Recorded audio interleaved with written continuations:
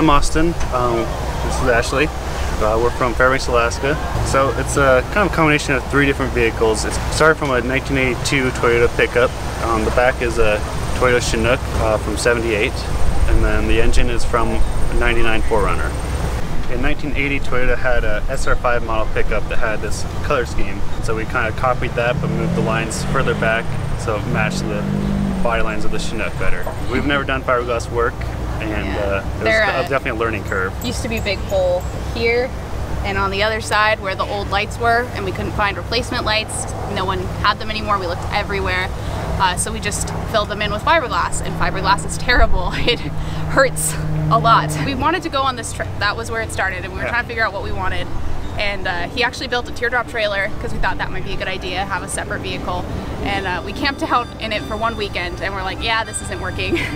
I don't like a trailer, especially going through cities and stuff, which we did want to do. Hadn't really seen much of the cities before. Uh, so we scrapped it and he came across an old Toyota Chinook that looked like junk. So when he bought it and brought it home, I was like, what are you thinking? This is nothing. This is never going to be anything. Uh, but over the last four years, we started building it up on our weekends and I'm really glad he bought it now. So it's got four-wheel drive. We've got this nice pop top here so we can both stand up completely straight, walk around a little bit. We're never too cramped. Uh, but because the top goes down, we can go through a drive-through and we can fit in a Connex and so that works pretty well. We've got a sink in there, an onboard compressor. We've got a little fridge and we did something a little different with the bed. So instead of just a pull out, we did three separate platforms that we put onto rails. Uh, that gives us more storage down underneath the couch instead of it being like a little folded up bed couch. I'd say the uh, the bumpers having the high clearance and the storage in the front um, saves a lot of space. Having we don't put our uh, dirty straps and our air lines up front and keep the dirty stuff out of the vehicle. Yeah, and he uh, custom designed and built all those to fit our vehicle specifically because obviously there aren't that many people who are like, I build bumpers for Toyota Chinooks that are also part other vehicle. I think everything was just a learning curve. Um, we talked to other people who've built other vehicles. We, we watched YouTube videos on how to do fiberglass, talked to people who've worked on fiberglass boats.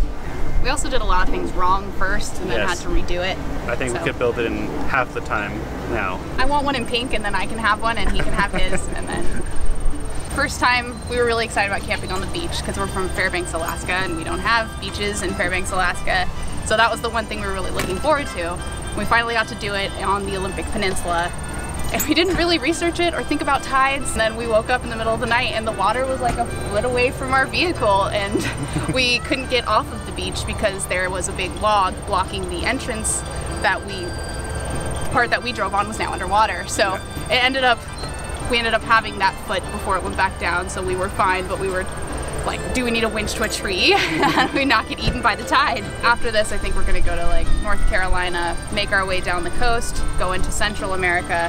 Hopefully, we'd like all borders to be open before we go. And I know that's Yeah. not maybe possible, but we'd like to kind of put that part off then so we can make a straight shot